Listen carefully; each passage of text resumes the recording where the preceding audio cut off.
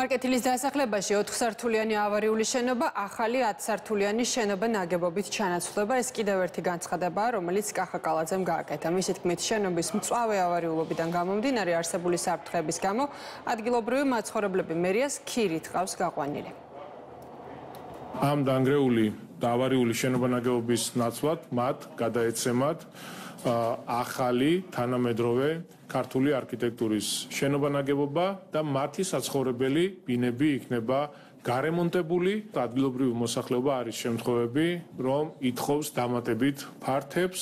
თუ თქვათ პირობითად ადამიანი ცხოვრობს 100 კვადრატულ მეტრში არის შემთხვევები როდესაც 20-30 15 კვადრატული მეტრ ფართებს ითხოვს, რაც რა თქმა უნდა, ამის გაკეთება ჩვენ არ შეგვიძლია, ამის უფლება ჩვენ არ გვაქვს და ეს აბრკოლებს ჩანაცვლების პროგრამის პროექტის განხორციელებას.